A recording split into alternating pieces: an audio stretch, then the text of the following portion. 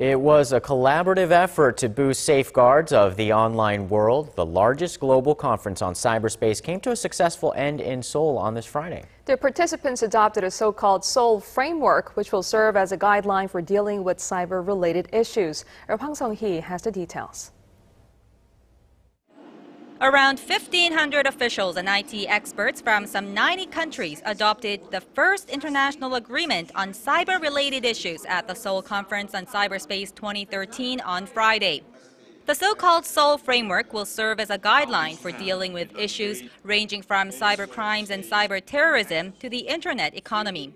그간 국제사회에서 논의된 내용을 정리하고 the Seoul Framework is significant because it is the first document that outlines the discussions between the international community and that will determine the direction of future discussions. It will be distributed to the UN and OECD to be used as reference documents.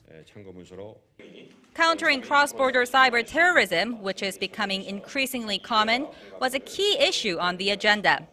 Participants agreed that any country that wages a cyber attack must be held accountable. The Seoul conference also served as an opportunity for participants to share their greater understanding on the importance of preserving the online community as an open space by protecting the freedom of expression.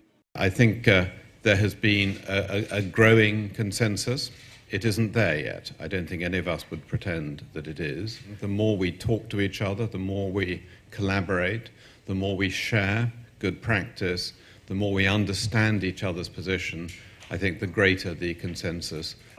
The annual conference is the third of its kind, with previous meetings being held in London and in Budapest.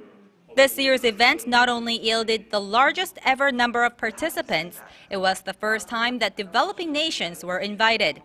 The participating nations agreed on the need to support developing nations to ensure that all countries benefit from the internet.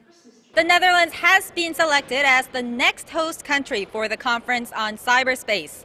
The next meeting will take place in early 2015 as officials are currently reviewing the possibility of shifting this annual event into a biannual one.